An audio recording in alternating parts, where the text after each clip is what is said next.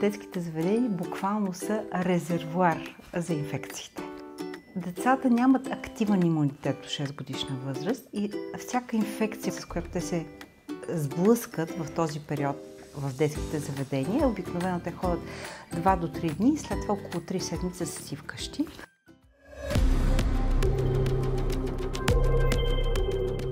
Най-често нещо, което се случва е да започне една секреция от носа.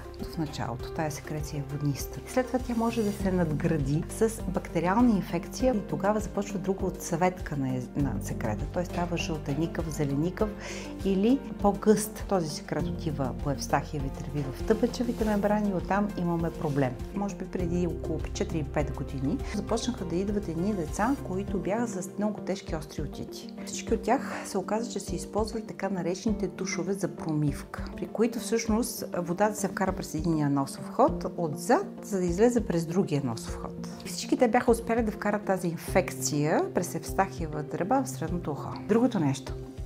В момента, в който да тръгне сопал на детето, не прибягвайте към очните антибиотични капки. Не ги използвайте безразборно. Единственото нещо, което ще направите е да направите детето си резистентно, нечувствително и ще увредите носната лигавица. За да можем да третираме тези изключително чести, но сметка на това продължителни сополи. Нещо, което можем да дадем, което успокоява възпалението, носната лигавица, така че пациента да може да диша. В този случай нещо, което много помага е цинапсина.